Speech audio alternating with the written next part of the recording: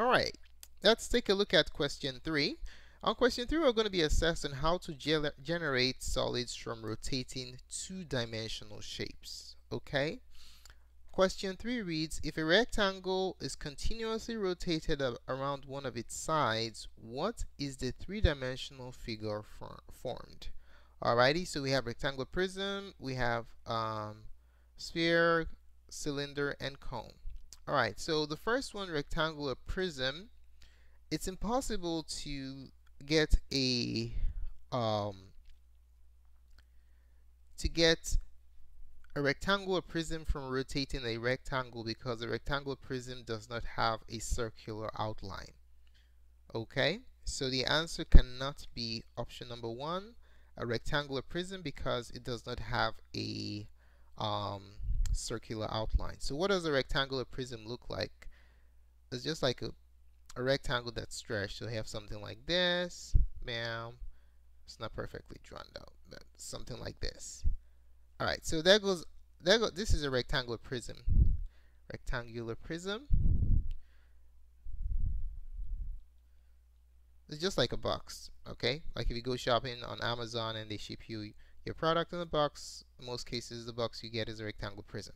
Alright, so this is not a, you can never get this as a result because it does not um, have a circular outline. Alright, so option 1 is not the answer, rectangular prism um, cannot be the resulting solid. Why? It cannot be the resulting solid because it has it does not have a circular outline. Okay, it does not have a circular outline. Why are we talking about um, circular outlines? Because we're talking about rotation. If you rotate any shape, to create a solid it's going to have a circular outline of some sort okay? So this have uh, has absolutely no circular outlines is all straight. So that tells us that it's automatically eliminated okay? But we think about a cylinder a sphere and a cone these three other options have circular outlines okay? So we want to carefully consider them because you can actually create all these three um, solids by rotating two-dimensional shapes. So the question is which one is a result of rotating a rectangle continuously around one of its sides. Okay, so we're going to be making use of an applet, um, GeoGebra online applet to give you a visualization of what the end result is going to look like when we rotate um, certain two-dimensional shapes. We are going to start with a rectangle, okay? So we have a rectangle here and what we're going to do is we're going to rotate this rectangle about um, one of its sides, okay? Alright, so you can change the view of this rectangle just by moving this point all over the place, just to rotate and move it around. Okay, so now what we're going to do is we're going to go ahead and rotate this rectangle. If you rotate this rectangle about a side, do you see what shape is going to happen? Check this out. Let's rotate, rotate, rotate, rotate. Bam! Ladies and gentlemen, what is that? That is a cylinder. Okay, so when you take a rectangle and rotate it about one of its sides, the resulting figure is a cylinder. This, ladies and gentlemen, is the answer to the question. Okay? How about sphere and cones? Do you know what two-dimensional shape results in their generation upon rotation? Let's take a look at it. Um, let's take a look at um, this figure for instance. We have a right triangle okay? Now what do we get when we rotate a right triangle about one of its legs? You see what three-dimensional shape result? Well let's do it. So when we rotate rotate rotate bam ladies and gentlemen we have a cone okay? So the result of rotating a right triangle about one of its legs is a cone all right, now how about uh, a sphere? Can you think about that for a second? Well, we've done rectangle, we've done right triangle. Let's look at circle. All right, so we have a circle here.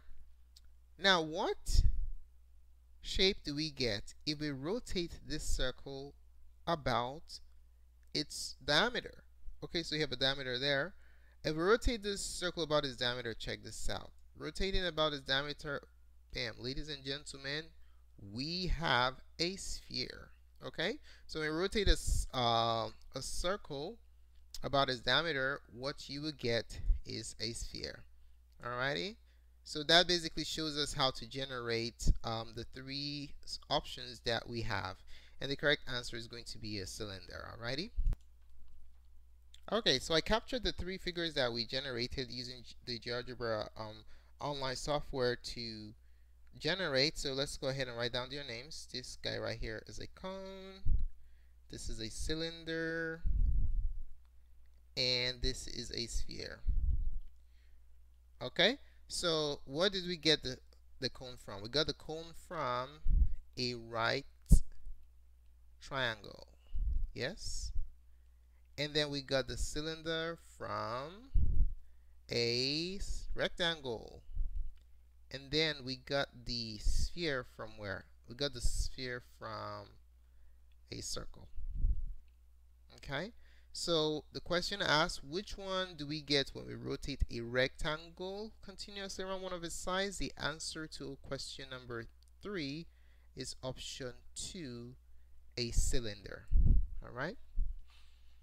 Presentation, really appreciate it. We'd like to know what you think. Um, if you found the contents of this presentation helpful to your preparation for the upcoming Regents exam, do give us a thumbs up. Your positive feedback is extremely important to us. If you have any questions or comments, just post it in the comment section below and we'll be more than glad to respond.